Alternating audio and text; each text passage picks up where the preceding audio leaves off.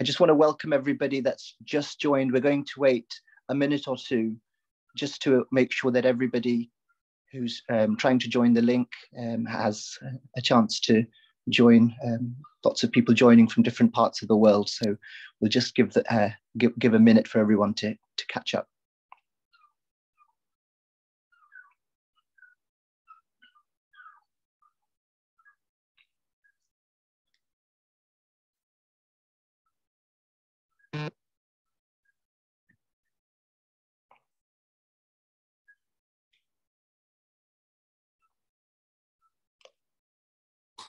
So I'm going to start. Um, good afternoon, um, good evening for those that are joining us from, from Pakistan. Um, my name is Zimran Samuel. I am a barrister um, in London at Doughty Street Chambers. I'm a member of the executive committee of uh, the Bar Human Rights Committee. Um, what is the, the Bar Human Rights Committee, the BHRC? Well, we are the um, international arm of the the Bar of England and Wales and do um, all kinds of work uh, on human rights um, around the world, including trial observations, amicus curiae briefs, which are interventions in cases, raising awareness about the plight of human rights lawyers in particular. Uh, we work with bar associations and, and organizations um, throughout the world. So that's who we are. And on behalf of my committee, I want to, to welcome everybody uh, to this to this webinar. Uh, we are delighted to be hosting this virtual panel event, bringing leading lawyers and civil society representatives to spotlight serious concerns about human rights violations and the rule of law in Pakistan. Um, my committee, the BHRC, we worked on human rights cases and projects in Pakistan for many, many years. In fact, as, as long as I, I can remember, um, in 2013, um, we uh, went to Pakistan and did a lot of work on the forced conversions, uh, predominantly of Hindu girls in, in parts of Sindh uh, and mm-hmm. um, cases pertaining to that. Uh, we worked on the school syllabus at that time, which systematically discriminated against uh, minorities, um, leading to concerns about institutionalized prejudice. We've done a lot of work in the past on the blasphemy law and the, the climate of intimidation that many lawyers face when they um, are um, seeking to take on cases involving the blasphemy law. Um, and obviously the plight of the victims, the plight of victims who are in many cases shot outside um, courtrooms before their cases ever come uh, to trial. Uh, in 2019, um, we attended the Asma Jahangir conference in Lahore. Um, and uh, that was with myself and my uh, then chair of the BHRC, Schona Jolly, KC. This panel today is the third in our Diminishing Democracy series, following uh, earlier rule of law um, events. In part of this series, we've done an event on India in September 2021. We covered Sri Lanka in uh, October last year. And today's event on Pakistan will be followed by panel discussions on Myanmar and Bangladesh. So for those interested, please um, uh, keep an eye on your emails on, your, on our website for those up and coming events. In recent years, the BHRC, along with many, many um, human rights organizations, including Amnesty, and indeed the United Nations itself, have voiced serious concerns on the rule of law in Pakistan, including the crackdown on the freedom of expression and the press with the Pakistan Media Development Authority Ordinance, which grants the government unchecked powers to punish journalists.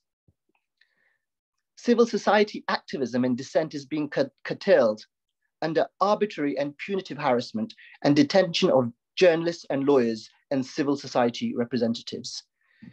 We're going to cover much of that um, today, including, as I mentioned earlier, the very controversial um, blasphemy law and the, the, Pakistan's blasphemy laws, which um, in our in our work we found to be by far the most draconian um, across um, the world, across certainly across the Commonwealth. Freedom of religion continues to be undermined. Women, religious minorities, and LGBTQ communities continues to face violence and persecution. And we've got um, a, a, lot of discussion that we can have on some of the, the current problems. Um, uh, uh, arising from, from that issue. We will also be touching on extrajudicial killings and crackdown on protesters, as well as enforced disappearance. I think the latest figures estimated well over 2,000 cases pending as of June last year in respect of enforced disappearances. Um, so you guys who have joined the session will have a, a, brief outline of some of the things we're going to cover. I'm not going to go through all of that um, uh, uh in my opening remarks, but what I would like to do is welcome uh, our absolutely incredible uh, panel. I'm really, really proud to welcome this distinguished panel, uh, both from the UK and Pakistan. We have Mr. Farooq Aftab. Um, he is a human rights activist. He's a lawyer. He's a news commentator. He's worked as a writer and a public speaker on global Islamic issues.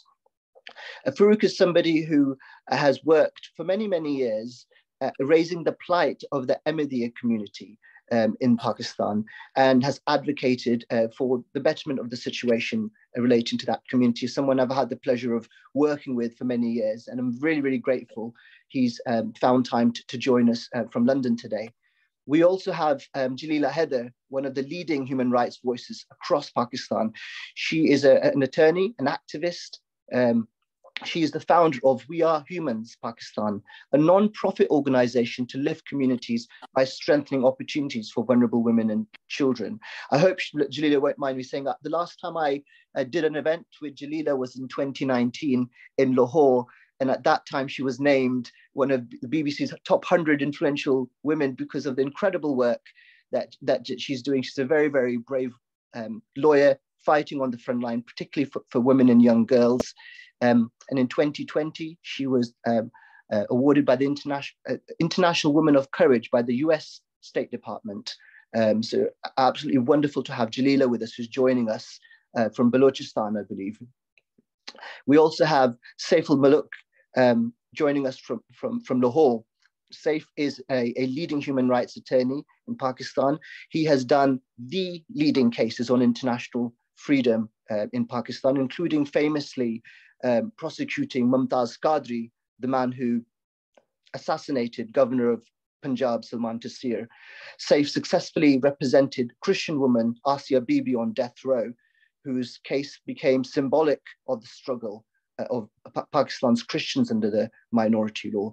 Uh, he has, it's, uh, from that point onwards, continued to work on the issue. Many people in his position who have been threatened may, might want to find some other line of work to do, but Saif remains intimidated on the front line and is uh, joining us today. So I'm very, very grateful um, to these three individuals and making an absolutely incredible panel um, uh, today. So that's enough for me because we've got some real experts that uh, I'm sure you'd much rather hear from and leave plenty of time for your questions, both from the UK and, and from Pakistan.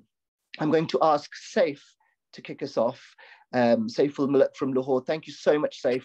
You're very, very welcome. Thank you for joining us, and I give you the floor. And, and Saif, please you, uh, don't forget to unmute your microphone because I always forget. So.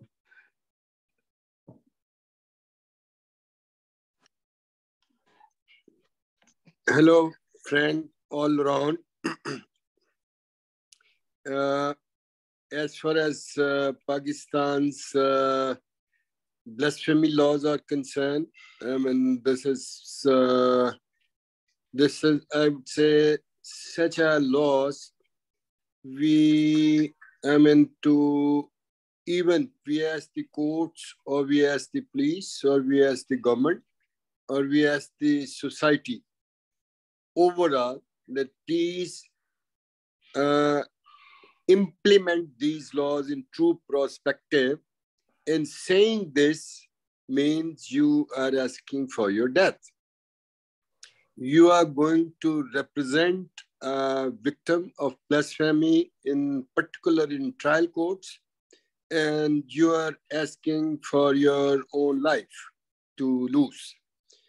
I mean, usually in the trial courts, as I've experienced over many, many years, there are gangs of lawyers who are coming from the prosecution sides, 30, 40 in number, in one go before a trial judge. Trial judge looks a hostage, not a judge. putting his face down and unable to control his coat.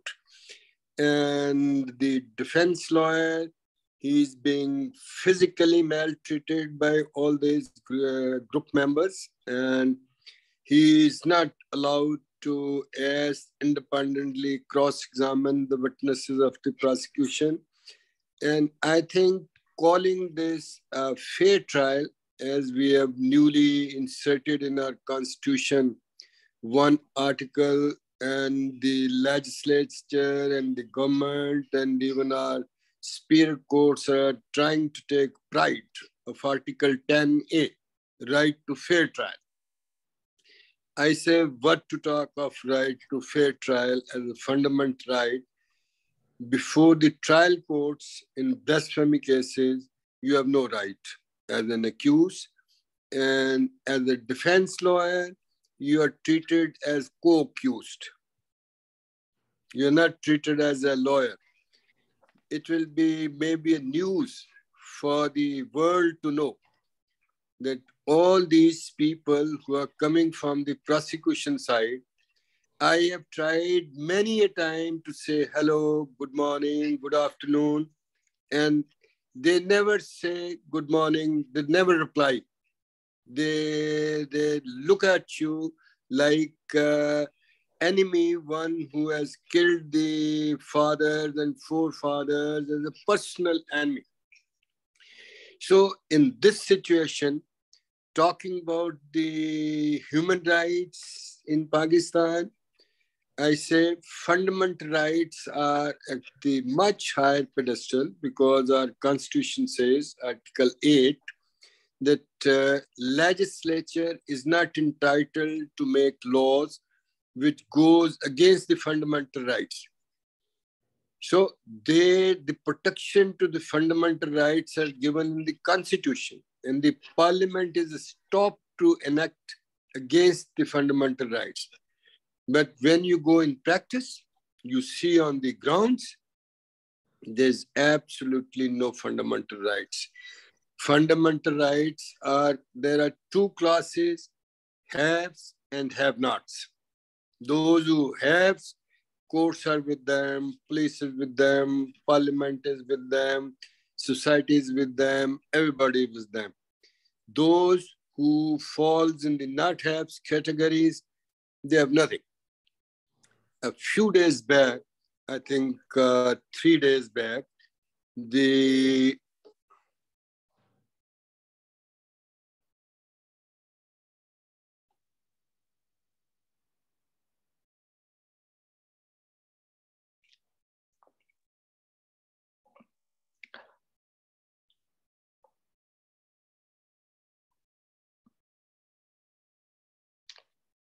think unfortunately um,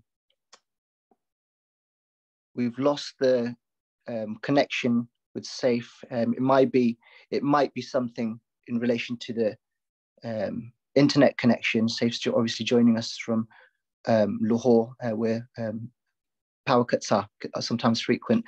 So we, we will uh, obviously return to Safe when he's able to, to, to, to rejoin. I can see he's, he's, he's attempting that now.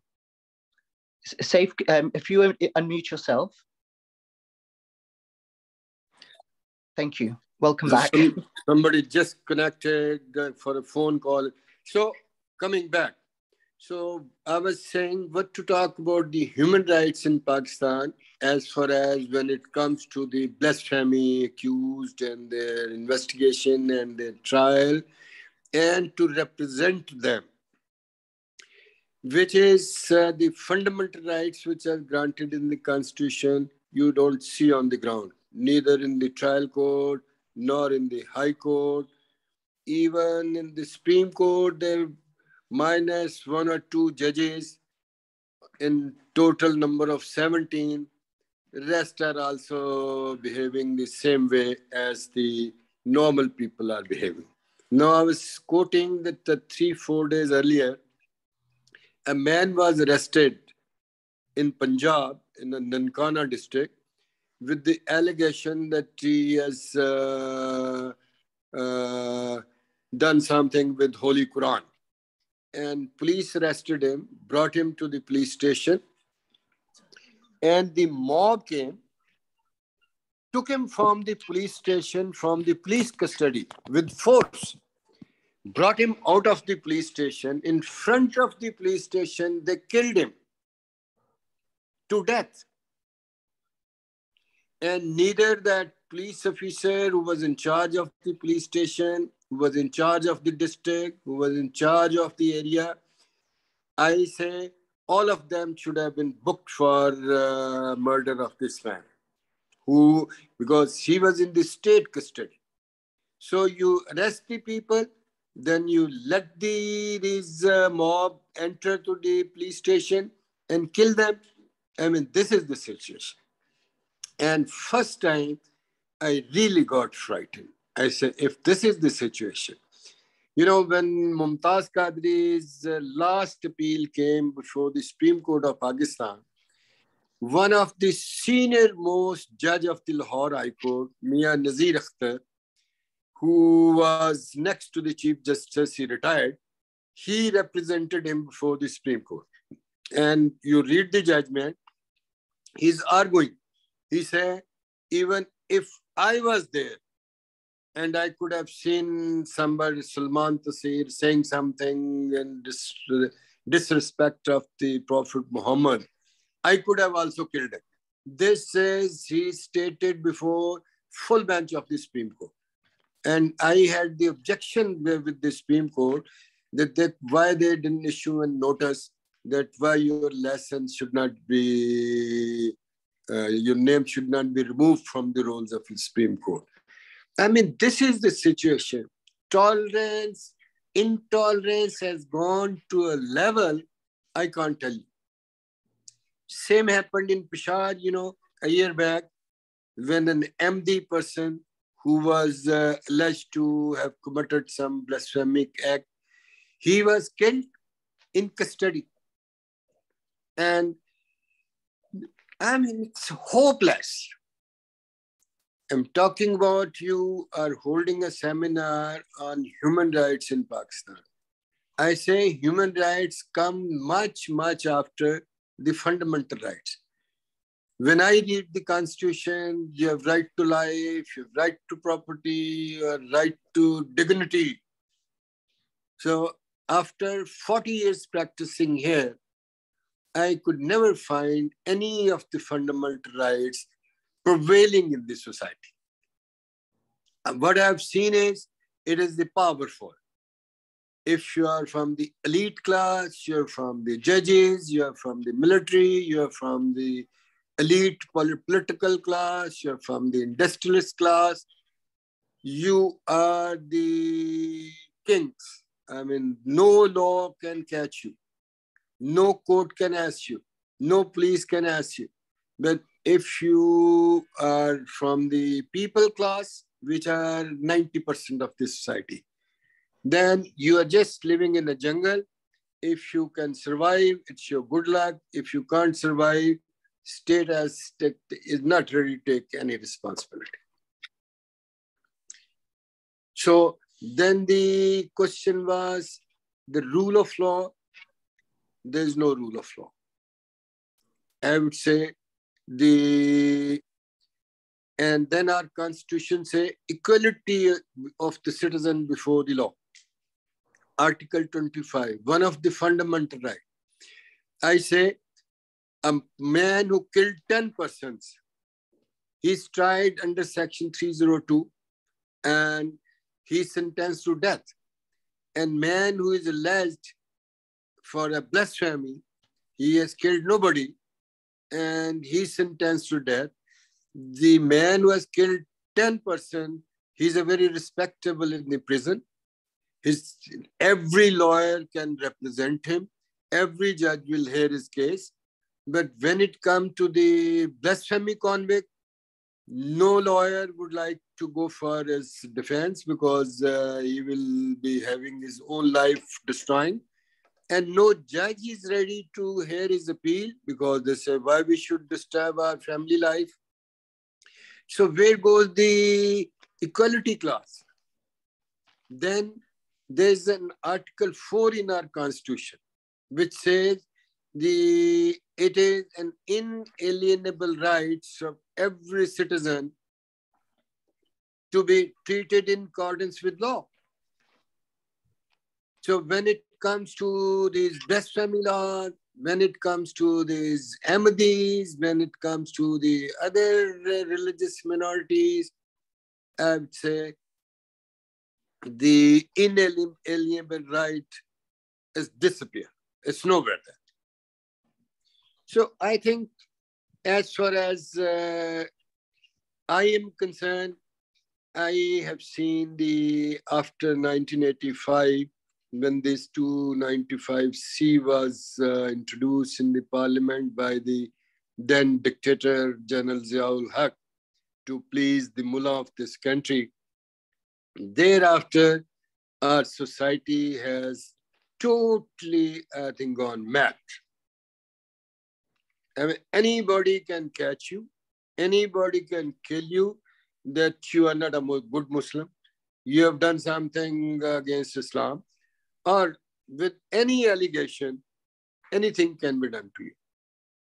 Prior to that, Pakistan was an entirely different country.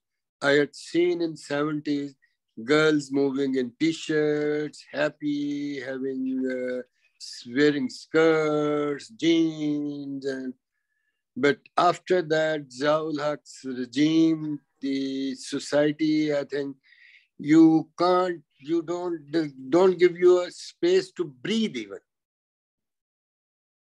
And I think now for uh, men like me, when this man was killed from the police station outside on the gate, from the police custody, I first time was seriously thinking that uh, if I want to live few years as a free man, I should leave this country. I never thought. I was many a time offered by many countries that I should uh, leave, I should leave. I said, no, many people need me here. Many people need me here. But after this incident, I really got frightened. I mean, this is the situation. And so I would say that uh, the blasphemy, they have no constitutional right. They have no fundamental right. They have no human rights. And no judge, no court, no investigator, the police is ready to write what is the truth. But everybody goes with the mob, and mob wants deaths of all such people to whom the acquisition is made on. So that is all. Um, thank you very, very much, um, Saif. Very um, chilling, scary to listen to your observations after four decades of uh, of practice, and I, am very grateful. Um, very, very, very brave man. I'm not sure I know anyone else who would take on the briefs that you've taken on and continue to do so. And thank you so much for for sharing your thoughts. Um, so I'm going to move from Lahore, Punjab to Quetta, Balochistan, uh, where we have um, Jalila Haider waiting for us. And uh, as I said before, uh, uh the leading human rights voice in Balochistan. We're very grateful that she's joining us. Thank you, Jalila. Thank you. Uh, uh, I'd like to add uh, with uh, Saif Saab, just uh, sorry, Mr. Saif, uh, just uh, want to give two reference that uh, yesterday a member of parliament, a political activist of FATA who was charged under sedition and so many other anti-state activities just because he wanted to uh, you know rights of his people he just got released after a huge procedure of uh, you know got his release order even though he got bail uh, a month ago. So this is how the level of our prosecution and rule of law is happening in our country.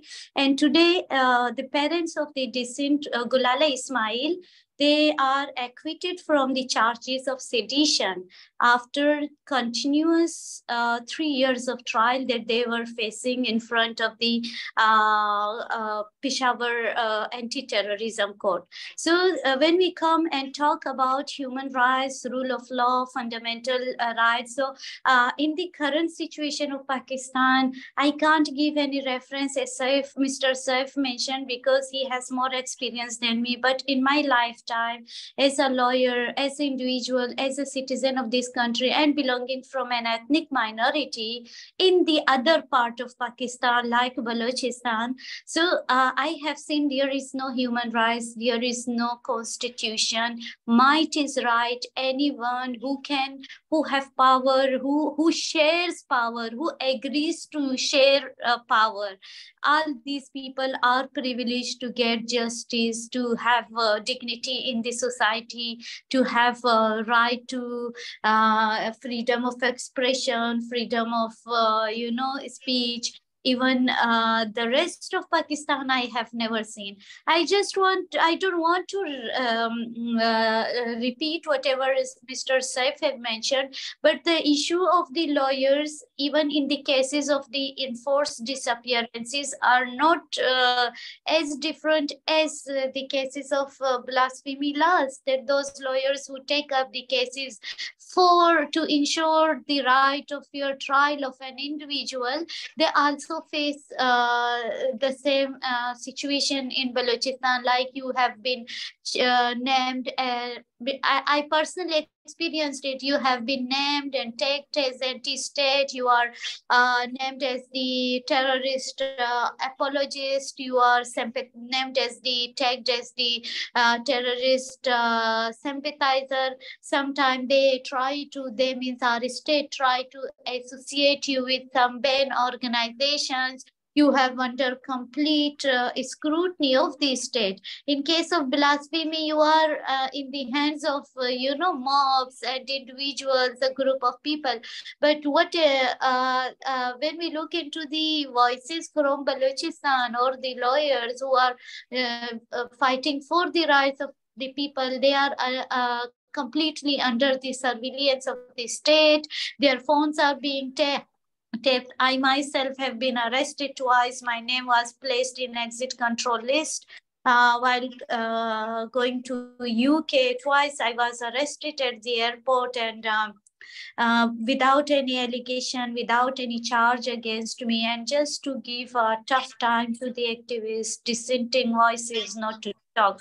Since we, uh, our country, our state expect us that we always talk about the positive image of the country. If if there is someone you know a dead body of someone be a person who is being killed it is good for our state that we we should present a positive narrative in the situation that we say oh this person is acting as a dead he's a good actor. So this is how the narrative of the positive image inside our country is nurturing and damage the entire uh, uh, society as whole. Every individual is a court, every mob is a judge, and they decide the fate of the people. When your state does something like extrajudicial killings of the political activists, either it is Baloch, either it is uh, other groups of uh, people who wants their rights, who question state's policies. So if they start, you know, doing extrajudicial killings, so in case of uh, uh blasphemy law, we see that the same is being replicated by the group of individuals in the form of the um, uh, in the form of a mob lynching that people take laws in their hands since there is no accountability of any institution, any uh, any institution, including judges, including uh, politicians, politicians somehow they have some accountability, but in case of the military uh, or our deep state, there is no accountability. Whatever they are doing with the fate of the country, so nobody cares. Uh, coming to uh, the rate of the state, my uh, my uh, analysis uh, working in a conflict zone, living as an ethnic minority in a ghetto or ghetto-sized area. I personally feel that since our country is uh, has spent a lot, invested a lot to militarize its civilians eh, for Afghan jihad, for uh, for you know for uh, our uh, foreign policies.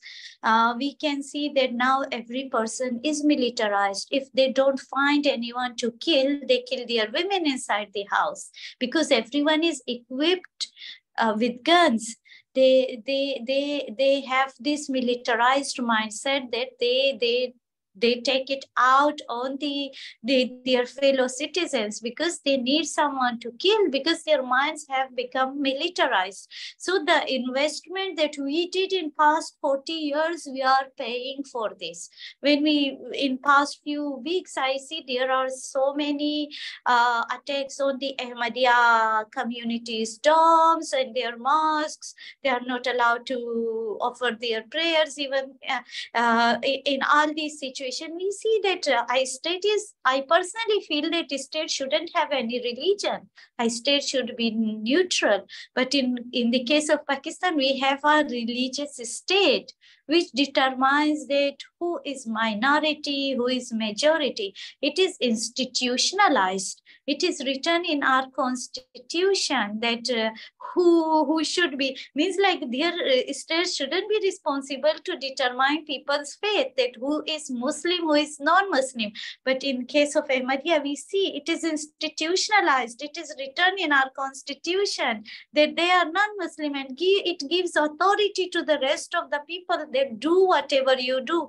The same we see with the blasphemy cases. So everyone believes that he is a pure Muslim and everyone have this faith that I am the right person. So he feels that he, because it is now a, a big, it is becoming a question of the faith. And you know, uh, we call it uh, uh, a crucial type thing that any person who kill a blasphemous means like uh, they will go to Jannah or they will be in charge of something. So when we look into uh, replicate into this, so initially we see there are militarized groups that for are are deep states uh, for time to time have nurtured these people.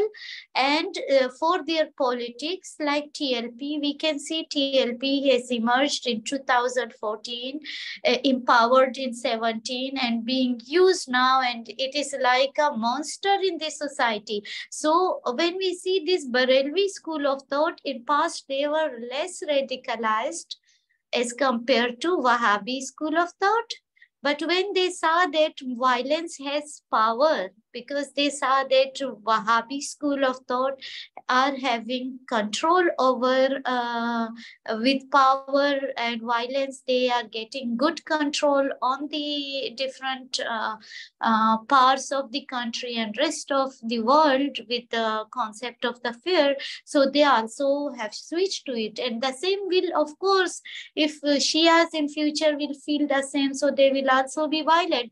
But the political use of religion religion is that much in our country that now it is doomed. It is like we cannot breathe. We, we feel afraid of our fellow citizens.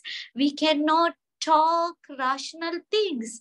Like we cannot argue. If any person give us any narrative we should have to agree with him.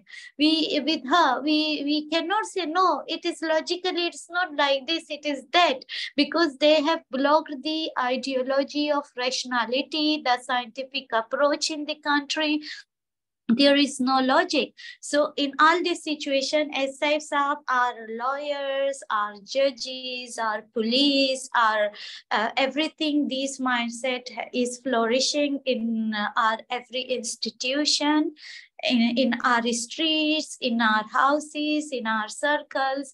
And that is why I personally feel that there is no rule of law, there is no fear of uh, writ of state, there is no control over them because our uh, indirectly or instead nurtured these people. Sorry to say, but when when extrajudicial killings starts from the state side, so of course citizen will behave in the same manner. So if if they follow rule of law, if they follow constitution, if they remain within the ambit of constitution, so no one dare to unfollow these things. So that is my take on this, and uh, uh, uh, thank you. Jalila, thank you so, so much um, for sharing with us the perspective from uh, Balochistan, including your own personal struggle on the front line and um, being arrested, uh, I think you said twice. Um, I was very, very grateful for, for, for listening to your observations. And um, it does seem, to my mind, from everything that Saif and Jalila have said so far, that um, a, a, bad picture is getting much worse. Um, but let's turn now to Farooq. I know um, we've touched on the Ahmadiyya community. Jalila mentioned the incidents recently with um, Ahmadiyya mosques being targeted, but we have a real expert um, today who's um, worked on th this issue for many, many years. And it's a real honor to be able to hear from Farooq Aftab next. Thank you, Farooq. Thanks, Imran. I'll give a very brief background to the Ahmadiyya Muslim community, as many may not be aware of the community itself, focus on current issues, and touch upon some of the solutions uh, in the allocated time. So who are the Ahmadis? They consider themselves to be Muslims, follow the tenets of Islam, believe in the Holy Prophet Muhammad, peace and blessings of Allah be upon him. But where they differ is they believe that the Messiah awaited by all world religions has arrived. Due to this theological difference, they are persecuted. However, we're not here for a theological debate and it's irrelevant from a human rights perspective. I mean, the Ahmadiyya Muslim community is really facing an existential threat. It's perhaps the most persecuted religious group, Pakistan, in the world today. They suffer a unique combination of virulent media commentary, violence, and hatred, active state repression through specific anti Ahmadi laws, and passive state tolerance of violence against Ahmadi Muslims. Some of this has been touched upon by the previous speakers. It's a toxic combination which makes everyday life impossible and prevents any form of meaningful communal worship. Threats and violence and death are just part of everyday life for Ahmadis in Pakistan. This wasn't always the case. Ahmadis weren't always persecuted in Pakistan. They were instrumental in the foundation of Pakistan, with the first foreign minister, Sir Zafrullah Khan, being an Ahmadi, first Muslim Nobel laureate, Professor Abdul Salam, also being an Ahmadi, but in 1974, the Pakistani government introduced a constitutional amendment which declared Ahmadis, whom it refers to using the derogatory term Qadianis, as non-Muslims. In 84, 1984, it went further. It adopted a legal ordinance, the infamous Ordinance 20, which made it a criminal offense for Ahmadis to refer to themselves as Muslims, which, is, which itself is contrary to Article 18 of the Universal Declaration of Human Rights and the 1981 United Nations Declaration on the Elimination of All Forms of Intolerance and Discrimination based on religion and belief. Though other minorities are targeted, the Ahmadiyya Muslim community is the only community which is specifically targeted by state legislation through this infamous, infamous Ordinance 20, or known as the Anti-Ahmadiyya laws. It's beyond dispute that the ordinance violates the basic rights of Ahmadiyya Muslims to freedom of religion, which is an absolute right as guaranteed by international law. Consequently, many Ahmadis have lost, amongst other rights, the fundamental right to vote, more importantly, the right to adopt the religion of their choice. Their daily lives have been unbearable through this ordinance. At every level, be it governmental level, judicial, civic, or through commerce, they face discrimination and harassment, topped off with ever increasing threats of criminal sanctions due to their religious beliefs. Many incidents go unreported. The police often blame the victim and approaching them for help just risk prosecution under the anti-Ahmadi laws. And this is something that Saif has also alluded to generally for all, all minorities. What results is a climate of constant and sustained persecution for Ahmadi Muslims, who as a result of their faith are totally excluded from Pakistan's mainstream society. Since the Lahore, Lahore attacks in 2010, when 86 Ahmadi Muslims were murdered and hundreds were wounded, the situation has only got worse. Even in death, Ahmadis are not safe. The basic respect which is ex expected to be afforded to the deceased is disregarded. For the past many years, the state has now started registering cases against Ahmadis under Section 295, defiling the Holy Quran, or Section 295C, defiling, defiling the name of the Holy Prophet Muhammad, peace and blessings of Allah be upon him. And anti-terrorism laws have also been used most recently for registering these cases, which is due to the religious intolerance against Ahmadis. As I mentioned, anti-terror laws have been used. Also, cyber laws have been on the rise recently. The Pakistan Telecommunication Authority has issued notices to Ahmadis, not just in Pakistan, but in places like the USA, UK, Australia, and other countries with the threat of criminal prosecution, demanding that they, they shut down their Ahmadiyya websites because they go against Pakistani law. It's also pressured Google to take down the Ahmadiyya Muslim Quran app developed outside of Pakistan. Initially, it was unsuccessful, but the PTA then threatened to block Google completely in Pakistan, and the app has now been removed in Pakistan from the Pakistan server.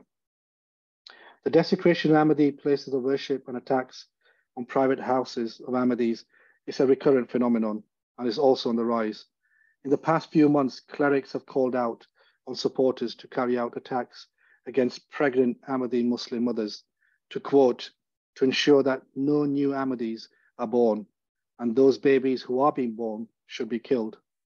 There's just no limit to this persecution, which has led many to leave Pakistan and seek a safe haven in other parts of the world. But at the same time, the persecution has also spread to other countries, including the West. Only a few weeks ago, nine Ahmadis were brutally murdered at gunpoint in Burkina Faso. It's a very difficult situation, but some practical steps possibly could be taken in Pakistan in the short term. Um, these include, for example, number one, looking at focusing on citizenship, the rights of all citizens should be equal or before the law. They should all have the right to vote. We should abolish the separate list, which Ahmadis are on, and ensure all citizens have the equal right to vote, regardless of their religious or non-religious beliefs. Two, stop the use of anti-terror laws, which should not be used against Ahmadis or other religious or ethnic minorities, and their literature should not be classified as hate literature for these purposes. Three, release all Ahmadis kept in prison under the blasphemy laws or anti-terror legislation, and these laws that focus on Ahmadis, they should be removed. Four, return the nationalized schools and colleges of Ahmadis, which is a straightforward thing. It's in line with the government's own policies, and it has returned it to other, other communities and other minorities. In the end, what I would say is that the escalating and persistent human rights violations against Ahmadi Muslims has now reached a critical point and possibly bordering on genocide. The persecution of Ahmadis often leads to the persecution of other minorities, such as Christians, Hindus, others. Ahmadis are seen as a litmus test for human rights in Pakistan.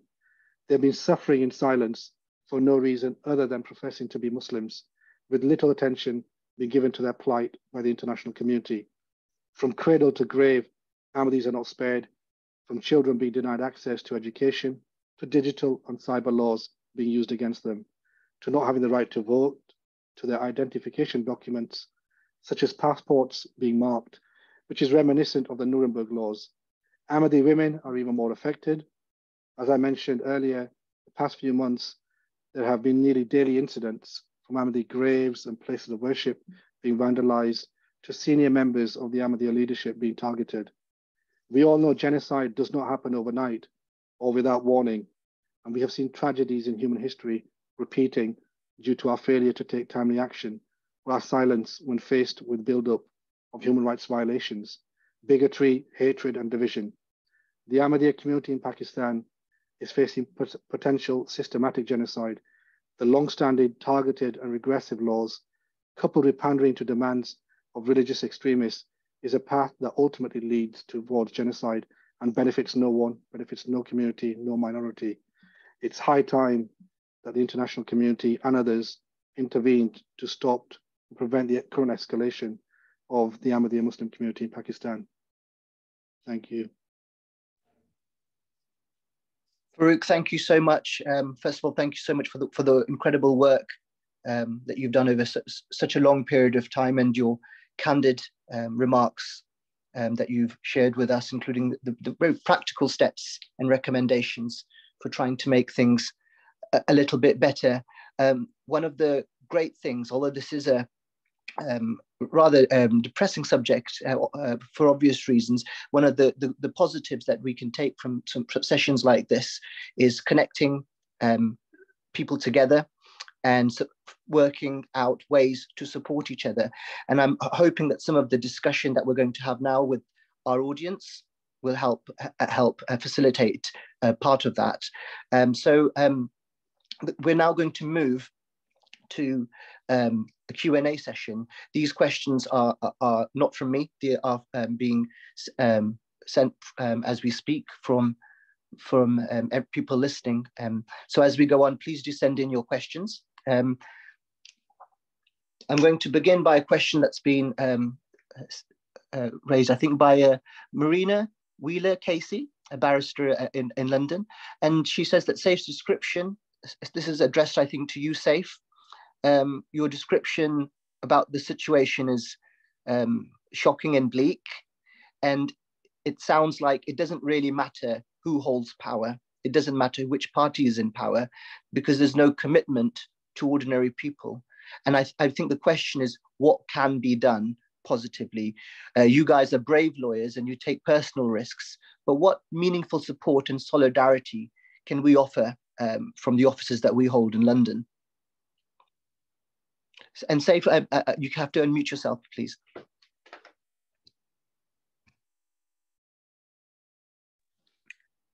It's okay. okay. I say it has to be done within Pakistan. It, outside Pakistan, it, there is no solution. I say when one uh, the Sri Lankan man was being uh, killed in a factory in Sialkot last year, and I was the one man in the country. I said, please prosecute the district police officer, district uh, commissioner, and all the institution, including the factory owner. Why? Because since morning, they my the speakers in the mosque were going on that uh, is a man who's uh, committing blasphemy and people were coming to the factory normal public mob and nobody was stopping them. So I say all these were the part and parcel of the murder. Now, this recent, I told you three days earlier, from police station, they took the accused out and killed him uh, with their uh, sticks and uh, beatings and all that. I say, who is the responsible? It is the police who has arrested him and gave it to those people to kill him. And I said to save one man's life from the mob, it is much better the state should kill 100 people to save one man. So that in future, everyone knows that anybody who comes to kill somebody who's in the custody of state, state won't care if they have to kill 100, 500, or as many as to save that one man. So that is the rate of the law. I say that is probably the solution. Then the political party of Pakistan and military of Pakistan has to decide now, it is time now, that no blackmailing, whether the vote of the right wing or the extreme Muslim comes to which party or the, if military needs to use these uh, TLP and all that uh, right wingers for their own sometime political purposes, we have to make decision that no, we all will stand by the state, we all will stand by the constitution, and military, all politician, all political party, all intelligentsia of this country should stand by the constitution and by the rule of the law and by the equality class. I think that is, I think, what the solution is.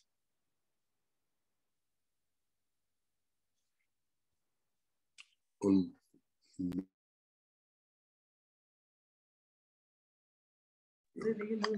You're mute. No, it's okay. Sorry about that. Uh, I have a question um, that's been asked by somebody called um, Nilmani Rollins, uh, and it's a question for Farooq. Farooq, um, what are the implications of using anti-terror laws against Ahmadis?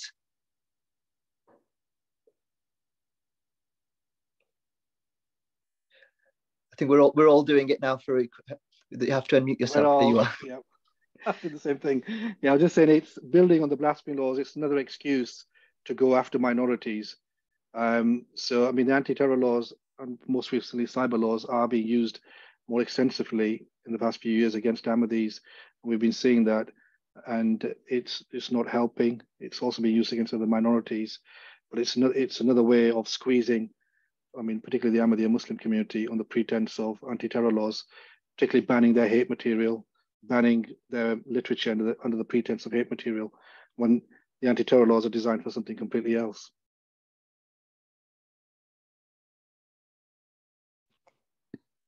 Thank you, Farooq. will have a question um, from a lawyer in London, Shoaib Khan. There, are, there were reports yesterday about a member of the public being jailed for tweets critical of the, the army, the establishment. Do we know anything more about um, the circumstances of that case? I wonder if any uh, uh um, of our speakers are aware of that case.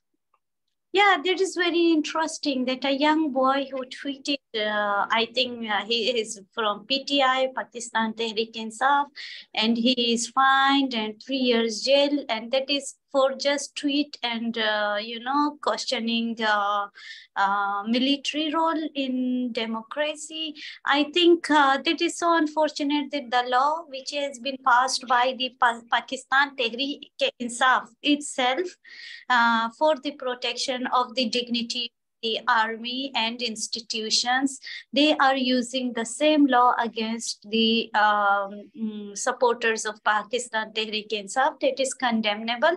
I think freedom of expression is everybody's right. Everyone has, uh, um, uh, there is no holy cow. Holy only Allah Almighty, according to we Muslims. So there is no one holy that uh, no one can criticize them. No one uh, should criticize uh, anyone on their political interference. I think this is this is something that which is not fixing our uh, country. We see even in the political uh, scenario, our political parties during their election campaigns, either uh, right wing, left wing, secular, they always use the Khatmi Nabuat card, blasphemy law, and as well as um, anti-Ahmadiyya, uh, you know, uh, uh, thing as a reference whenever they want to get uh, uh, do their election campaigns. So these all are like no. The problem is basically political. And uh, i i would like to agree with saif as well that it should be fixed politically within pakistan and only pakistani think tanks those who have rational thoughts logical people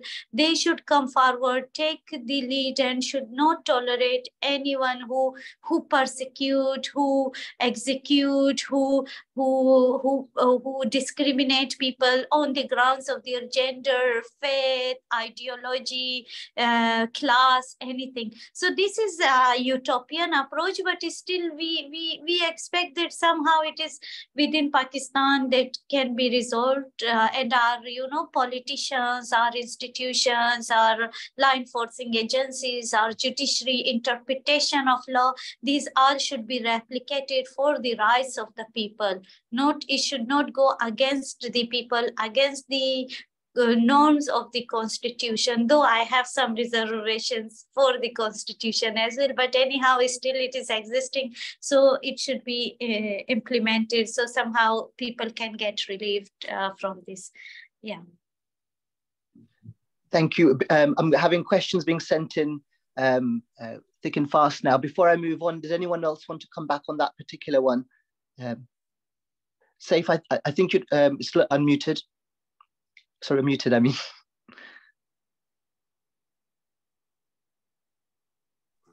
No. Thank you.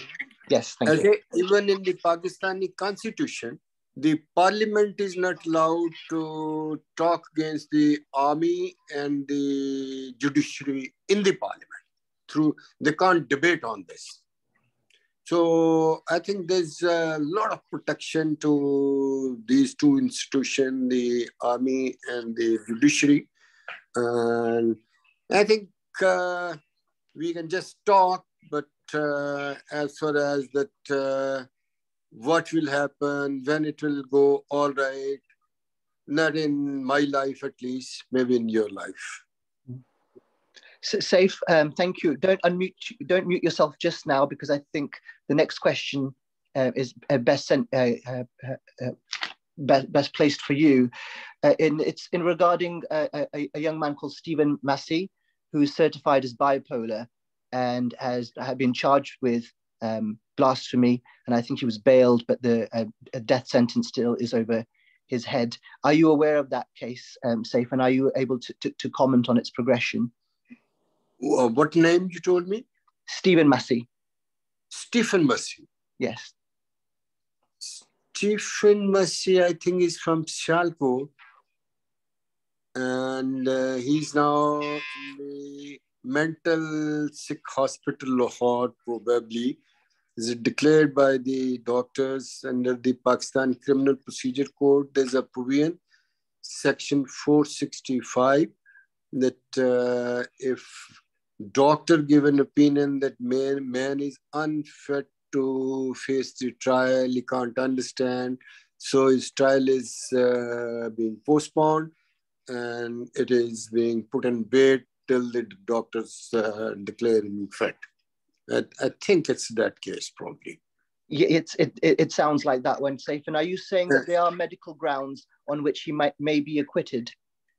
Uh, not acquitted. The Supreme Court, uh, five judges had uh, given a judgment in 2018, Safia Bibi's case, where they have held that uh, if it is proved that somebody has gone uh, deranged mentally even after he's sentenced to death. In any case, he cannot be executed. He cannot be hanged once he is mentally declared sick.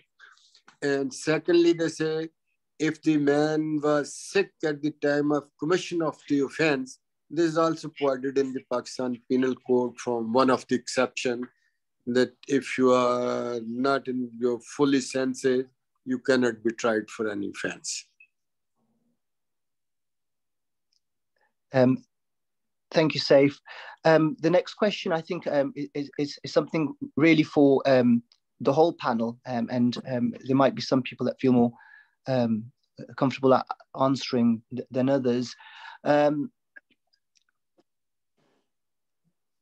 what is a solution to the, uh, uh, I mean, the, the, all sorts of discriminatory laws that we've discussed today and problems, but the blasphemy law keeps coming back as something which goes across many of these issues and is misused in so many ways. Um, if the solution lies in Pakistan rather than um, pressure necessarily from the international community by itself, um, the question is we can't get rid of the radicals. We can't uh, uh, necessarily realistically lobby for changing the legislation. So where does the immediate solution lie? I wonder if I could ask Farooq and then Saif and then Jalila. Uh, Okay. Me? Yes, please. Uh, once I was sitting in the State Department, Washington, and this question was asked to me, which you are asking now. I said, a very, very simple solution. And he said, what is that? I said, uh, call the chief of army staff for Pakistan and tell him to take over the government with the precondition that he'll change, uh, annul these laws when he take over. First order would be annulling all these laws. They stood off from the. We can't do it. I said, if you can't do it, then it will continue. So I think that is the answer. Nobody can do it.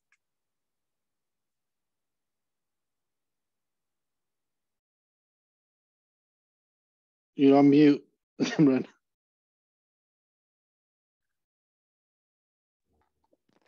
Zimran. If you have anything to add to, to what Saif said?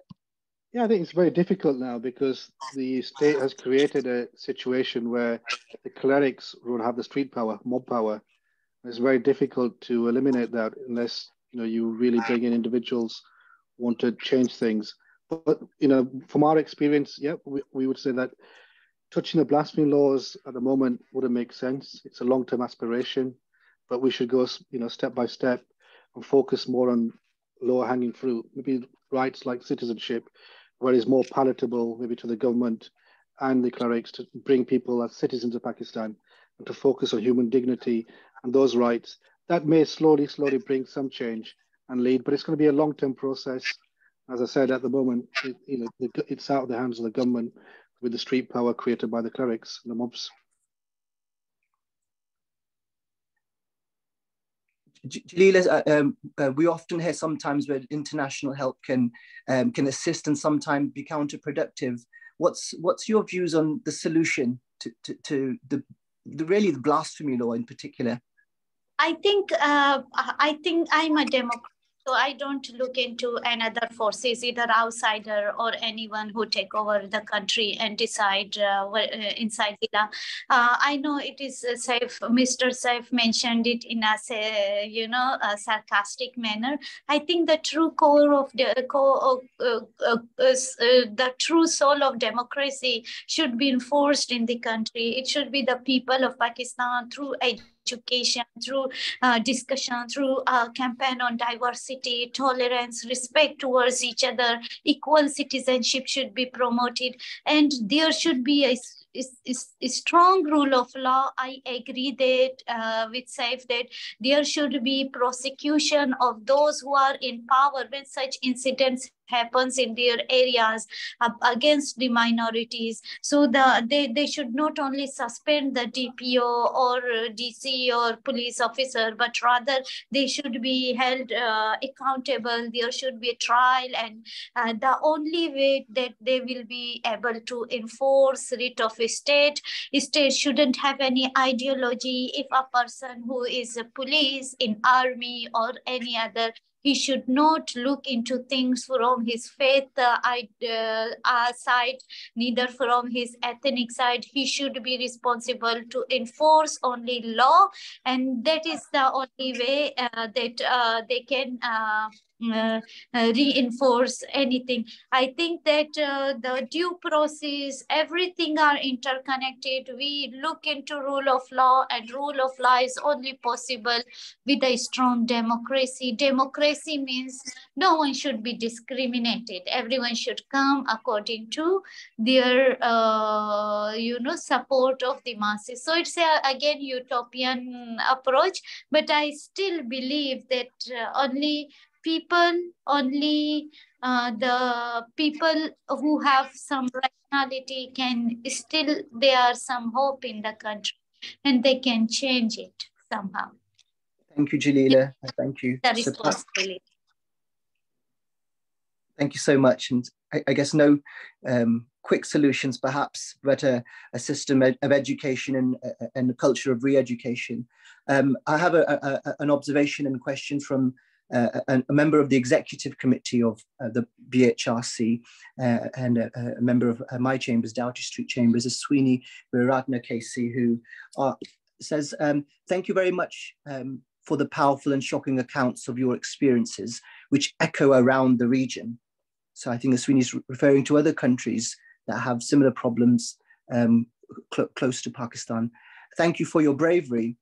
To what extent does the state seek refuge or justification for its actions in, the, in their activities based on what their regional neighbors are doing. So China is doing X or Sri Lanka's that X is happening. So, um, so it's not so strange that we might do it. Um, or in fact, it's a justification. Um, it, so we're really looking at a, a, a, very important and, and wider uh, part of this, this topic. Um, does anyone want to come in first? Jalila?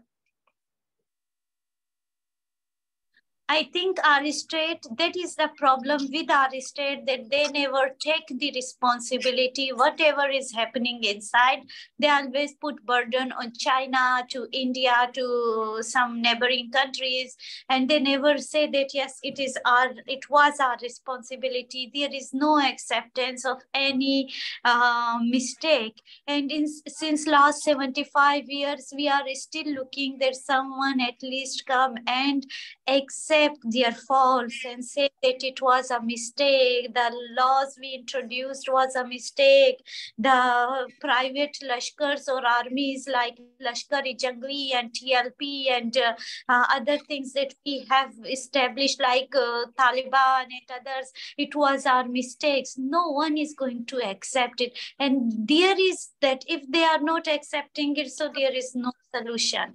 That is why we are still expecting, we are still hoping that they sh- someone should come and take this responsibility. It is they are ruling our country, our politicians, our judiciary, our uh, law enforcing agencies. So executive, all these should come and take responsibility that it is our country and protection and dignity and life of its citizen is our responsibility. So again only democracy democracy a true democracy is the solution. I don't have any other hope. And the political solution. Thank you jalila. Um, and Saif um, if you uh, uh, unmute yourself please. Um, i've been asked a question uh, marked anonymous. Um, have you found Saif um, um, support within the eu the united nations or other international bodies um, on the application of these draconian laws.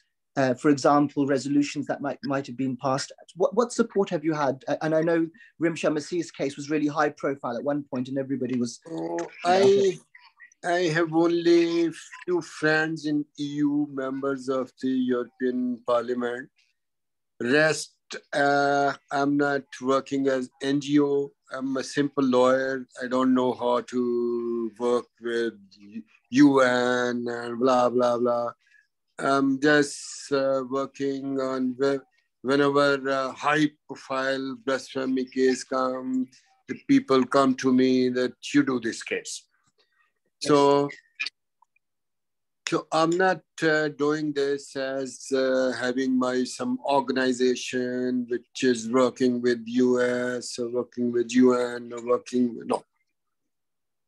But as the first question which you posed that uh, government is taking refuge Sri Lanka, blah, blah, I say no.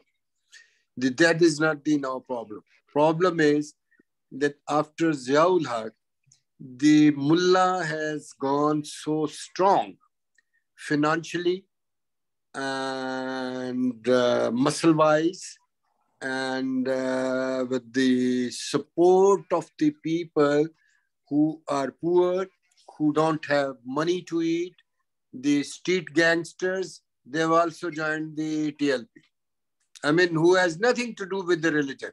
They don't go to mass. They they absolutely not religious, but just to enjoy the power, they've joined that party. I've seen whenever the roads are stopped and country is blocked, it is all those uh, street boys who are having no work, having no money, having no education, no respect in the society. They're coming with the sticks in their hand and uh, breaking the cars and sleep, slapping on the face of the people who are driving the car and they enjoy. The vengeance they bring out that, well, society is not treating us. So I honestly feel that the genuine religious people who are supporting all this, they're very, very few. Rest are all those who want to enjoy part somehow, who can't abuse to anyone. But once this religious mob comes and they can beat a man in Mercedes, they can do anything and they can kill somebody and they it. And the solution is very simple. The day state goes serious, they just have to make one statement. You know, once this uh, TLP, they've uh, stopped the whole country. It was fourth day when the uh, inter-services public army's spokesman came on the television. He said, well, we give you three o'clock noon time to vacate the road. Otherwise, law will take its own course. After his speech, in one hour, whole Pakistan roads were uh, cleared.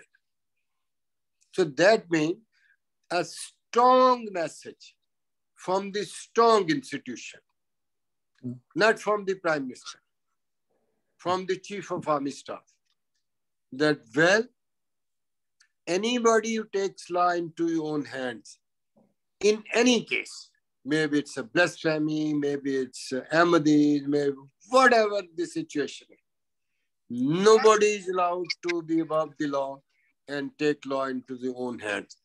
Unless the state stands on its feet with such a strength, there's no solution. And if they don't stand, then day by day, the power will be shifting more and more to these people, more and more to these people. And one day they'll become so strong that even state will think to correct it, then it will be more difficult than today. Thank you very much, Saif. Um, Farooq, um, if I can ask you this, uh, we've had some discussion on um, when international uh, uh, help um, uh, is appropriate and when it's less appropriate. Um, in respect of the, the work you do, uh, and if I think about the Bar Human Rights Committee, we've done amicus curiae interventions, trial observations, and uh, have a lot of knowledge of using UN mechanisms as well. To what extent, uh, in the plight of the Ahmadiyya community, is that sort of assistance helpful?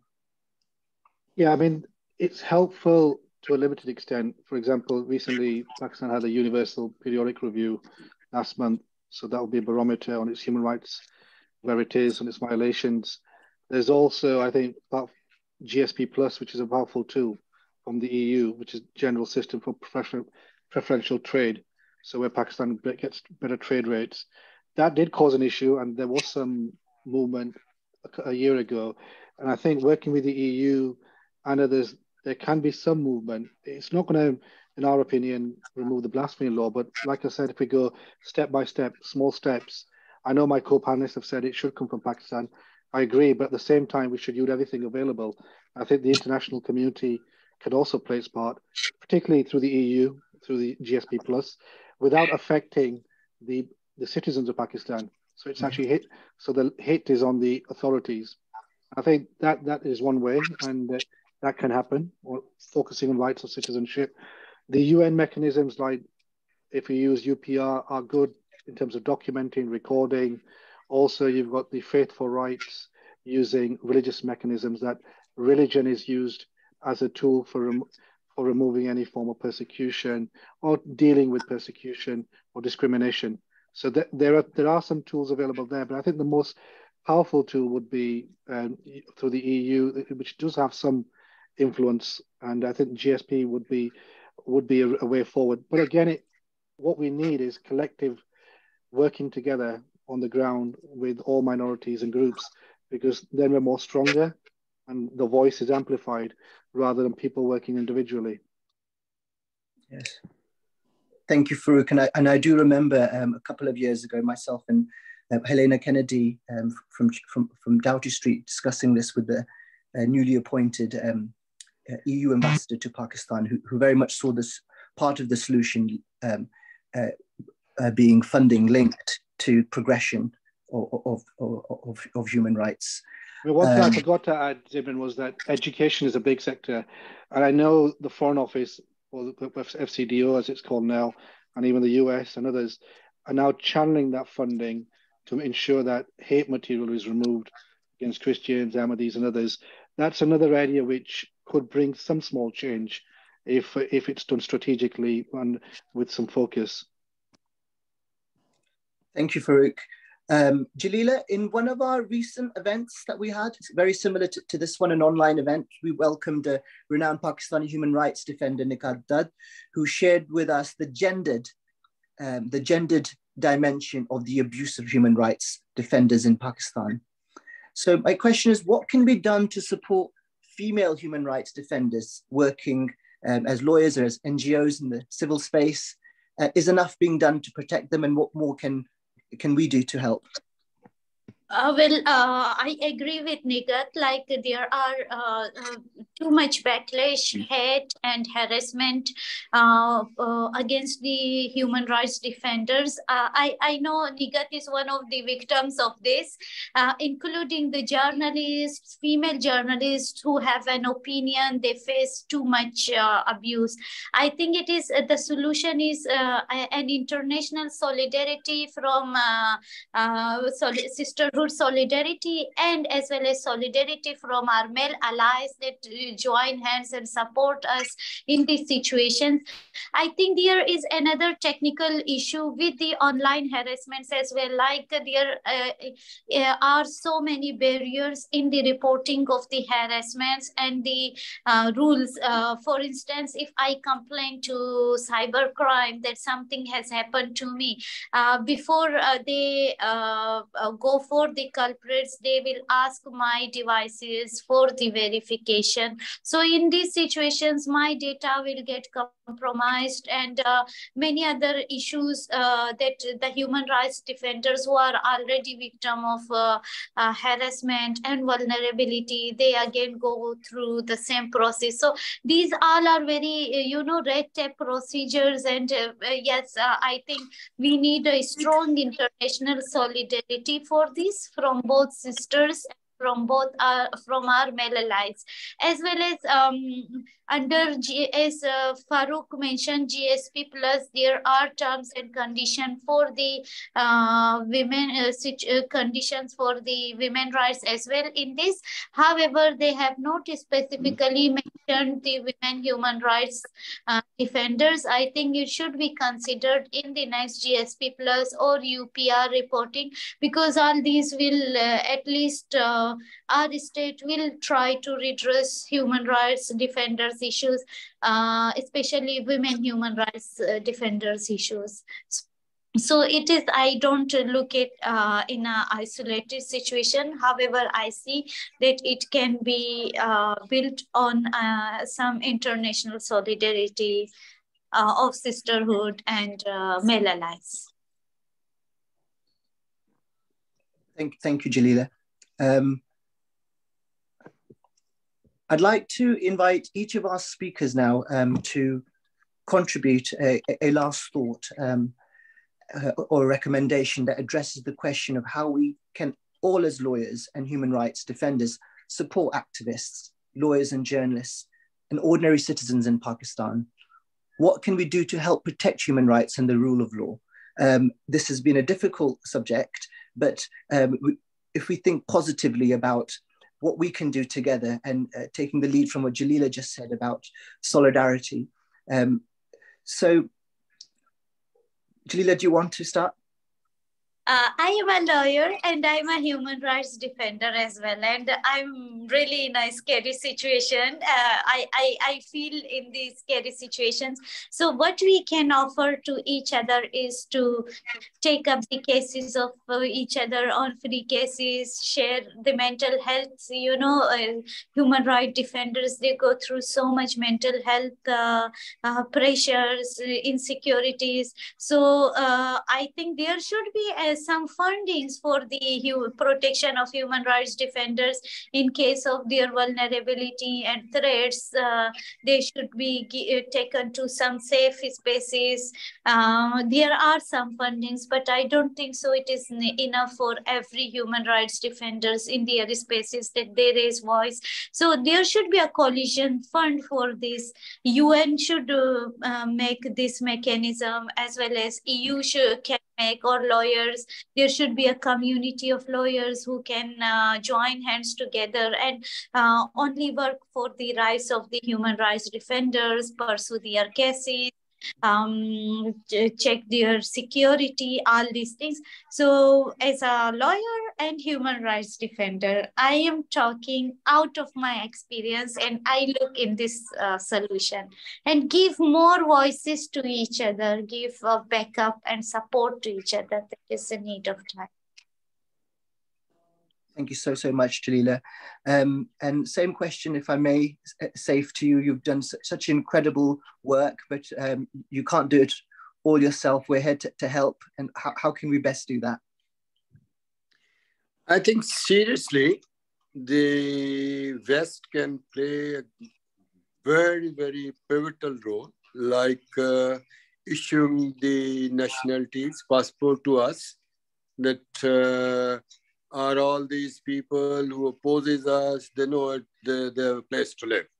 I mean, or we can, man like me, who has already crossed 67 years of age and has done all whatever was my share, all most controversial cases, Salman Taseer, Asia, Shagufta, all I've done alone. At least such uh, emerged people, they should given uh, one Western nationality or uh, the, say, your England can ask us, okay, three months, you're free. Come here, here's a free residence. We'll feed you, have good whiskies, go around, relax, because our drinking whiskies three years in imprisonment in Pakistan carrying it three years imprisonment. So, I mean, these are really what can be done. But in my experience, whole these Western world, they only talk. But when it comes to give something, in my experience of 10 years, the answer is no if you ask them to give you some money, if you ask them to facilitate you in immigration, if you ask them the okay, our children should be given at some university to study, at least we should uh, be clear that, well, okay, we are killed, no problem. Nobody will listen. It's only sometime in a function, they, ha ha ha, you are very brave, you are blah, blah, blah. Finish, go. That's all. There should be something practical. So there should be a house in uh, anywhere in England meant for this. Invite all the time, five, ten, top, whichever you think they're top ranking or doing something. Come and relax for two months, three months, get back and again fight, start fighting. I mean, this can be very serious it looks uh, fun, but I'm talking it uh, from a serious uh, angle. Yeah. And if I may say so, some, some echoes uh, there with what Jalila said in terms of um, help with mental health, help with well-being, being able to escape from yeah the same thing. this, this is same what i'm saying but i'm saying with a different words. Yes yes um, and Farooq, if I ask you the question, but I, I, guess the question is slightly different for you because you um, are here um, as a solicitor, practicing solicitor in, in, in, in, London. Uh, but in terms of the plight of the Ahmadiyya community, uh, would you have any final thoughts and recommendations in terms of the assistance that um, that we can give as lawyers? And most of the audience, the vast majority today, are lawyers, and I know they'll be keen to help where they can. Yeah, I think one picking up on Jalila's point, I think we've got to focus on uh, alliances with all minorities and groups working together.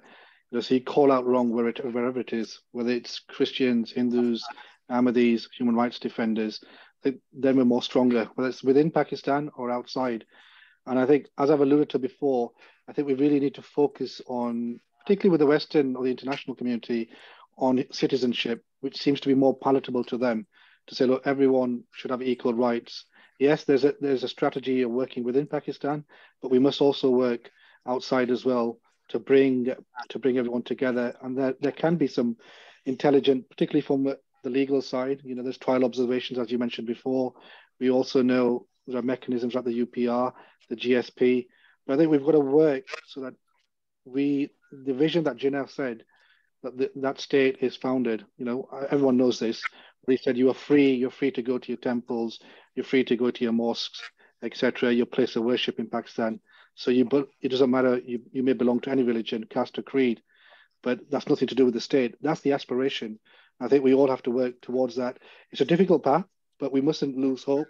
You know, we've got to remain optimistic. Human rights work is like this, but I think the more alliances and, and networks we build, that will certainly help going forward. No, I, I said that was the the, the, the, the final thought, Farooq, but I, I do have one thing I wanted to uh, add before before we finish um, today. Um, we use the word human rights activists and, and defenders um, sometimes quite loosely, but you guys very much are on the front line.